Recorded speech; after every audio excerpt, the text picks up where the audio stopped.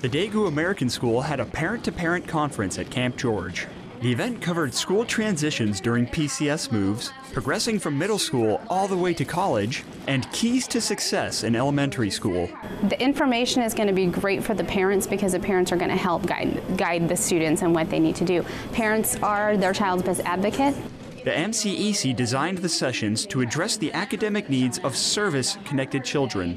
My chemistry teacher actually has a theory called Swiss cheese, where no two slices of Swiss cheese are the same, and that's like a student. Like some people know how to add two plus two in first grade, some people don't. The session ended with a class on how to stay involved with a child's education during a deployment.